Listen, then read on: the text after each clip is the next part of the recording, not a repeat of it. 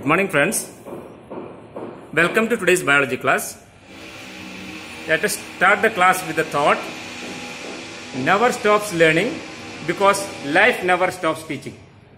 Today we will be discussing the topic reproduction in flowering plants the structure of megasporangium and the pollination how it happens and the double fertilization how it happens. So you can see a brief of what we are going to do today.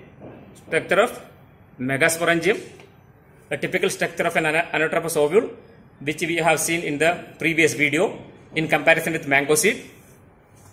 Here is the pollination and the structure of pollen grains and the type of pollination happening in plants and also the fertilization events, the agents of pollination, animals, insects, air and water.